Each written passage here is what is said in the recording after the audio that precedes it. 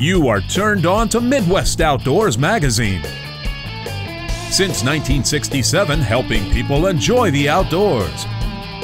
Sponsored in part by Rapala Lures, Shakespeare Ugly Stik, America's strongest, most sensitive rod, Northwest Ontario, Canada, Abu Garcia, quality rods and reels for life, and FlowFast portable fuel transfer systems.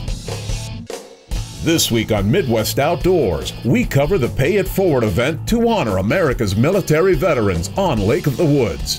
The Clam Outdoors team is on Devil's Lake. Pheasant hunting in South Dakota.